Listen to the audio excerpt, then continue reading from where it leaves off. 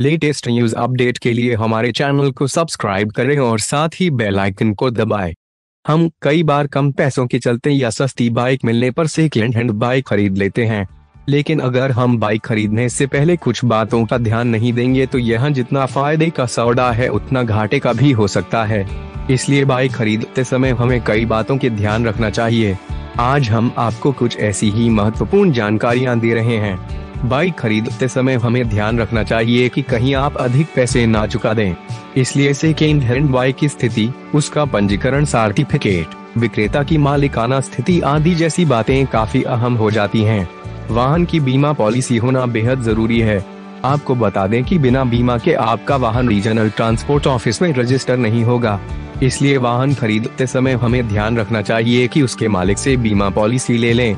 साथ ही बाइक के मालिक से रोड टैक्स कार्ड भी लेना चाहिए, क्योंकि इसमें वाहन खरीदते वक्त चुकाया गया रोड टैक्स का विवरण होता है।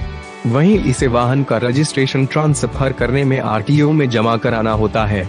बाइक खरीदते समय बाइक की आरसी लेना कभी ना भूलें।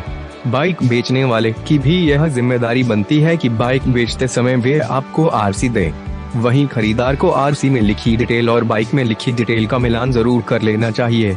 आरसी में जो बाइक की चेसिस नंबर और इंजन नंबर है, बाइक की बॉडी और इंजन पर भी वही नंबर होना चाहिए। इसके अलावा आरसी में बाइक के मालिक का नाम टैक्स पेमेंट की स्थिति और रीजनल ट्रांसपोर्ट ऑफ़िस आदि के बारे में भी पूरी जानकारी होनी चाहिए। वहीं अगर आरसी बुक में बैंक की मुहर लगी है या हाइपोथेटिकेशन में किसी बैंक में फाइनेंस कंपनी का ज़िक्र है तो इसका मतलब है कि उसे खरीद देने के लिए लोन लिया गया था। ऐसे में आपको बाइक बेचने वाले व्यक्ति से फॉर्म पैंतीस या बैंक से अनापति प्रमाण पत्र लेना चाहिए। इसके बाद ही आप आरटीओ से बनने वाली नई आरसी में बैंक लोन की एंट्री की खत्म कर सकेंगे। अगर आपने बाइक खरीदते समय उपरोक्त बातों का ध्यान नहीं रखा है तो आपको परेशानी का सामना करना पड़ सकता है। इसलिए आपको बाइक खरीदने से पहले पूरी जाँच पड़ताल और सर्टिफिकेट आदि का पूरा ध्यान रखना चाहिए। नहीं तो यह छोटी सी लापरवाही आपको किसी बड़ी परेशानी में डाल सकती है।